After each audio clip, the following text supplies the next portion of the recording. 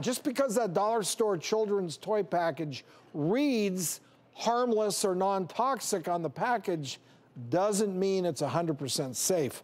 Well, an Illinois family learned this lesson the hard way when their three year old daughter wound up in the hospital after playing with a toy makeup kit.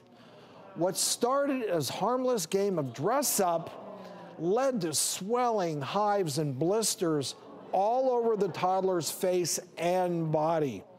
So the couple first spoke out about this incident on Facebook, wrote within 24 hours of using this kit, the three year old's eyes became swollen, blistered shut. Said she developed a rash on her entire body, was unable to eat due to blistering, cracked lips.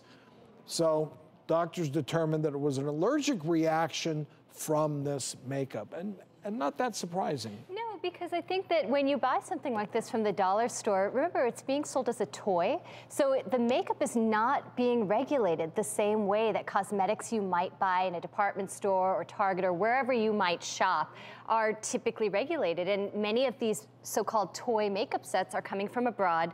They're not regulated by the CPSC. If we turn around this box and you look at it, just to read you some of the ingredients in these, you can't even pronounce them. I mean, it's it's really phenoxyethanol, panthenol, ethyl hexyl glycerin, uh, you know, things like initials like TBHQ. I don't even, I'm a dermatologist, that's, that's a I have no idea what that experiment. that There should be a Yeah. doll So that. just So- be careful with, when you're playing dress up, just be careful with the makeup you're using, Jorge, okay? I use nothing but the best. Yeah. I feel so I feel really bad and like you said it's not made in the United States. It's not regulated, but we have to protect our babies. And you know, I feel as though you have something in the little girl, she just wanted to have a good time. So if you say that it's a makeup set and kids will be able to use it, then you have to make sure the products are really gentle enough so that kids can use it. I'm shocked that when it enters the country, that there aren't certain guidelines. I mean, to me, Yeah.